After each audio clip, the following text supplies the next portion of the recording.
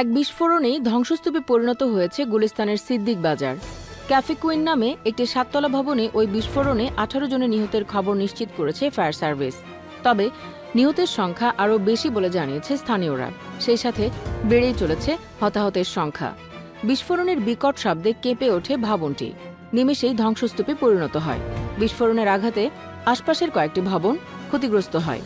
শরীফুল নামের এক প্রত্যক্ষদর্শীর বর্ণনায় বেরিয়ে এসেছে বিস্ফোরণের ভয়াবহ চিত্র। তিনি বলেন, বিকট শব্দে বিস্ফোরণের কারণে ওই ভবনের কাঁচ আমাদের ভবনে এসে পড়ে। ওই ভবনে যেসব সাইনবোর্ড ছিল, সেগুলো উড়ে এসে রাস্তায় পড়ে। অন্য একটি ভবনের দোকান কর্মচারী তারেক বলেন, যখন আহত লোকজনকে বের করা হলো, দেখলাম অনেকের বিভিন্ন অঙ্গ ছিল না। অনেকের চেহারা বিভৎস হয়ে চেনা যাচ্ছিল না। আহতরা বাঁচাও বাঁচাও বলে চিৎকার করছিল। বিস্ফোরণের ঘটনাস্থল পরিদর্শন শেষে হতাহতদের দেখতে ঢাকা মেট্রোপলিটন পুলিশের কমিশনার ঢাকা মেডিকেল কলেজ হাসপাতালে যান। এ সময় তিনি বলেন, একটি গ্যাসজনিত বিস্ফোরণ নাকি? নাশকতা, বিশেষজ্ঞ দল তা খতিয়ে দেখছে। প্রিয় ভিউয়ার্স, গ্যাস বিস্ফোরণ হোক কিংবা নাশকতা, দিন শেষে এই নির্মমতার শিকার সাধারণ মানুষই। আল্লাহ এই অসহায় মানুষদের হেফাজত করুন। আমিন লিখে কমেন্ট বক্সে জানিয়ে দিন আপনাদের অনুভূতি।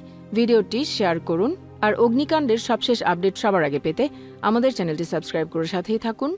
ধন্যবাদ সবাইকে।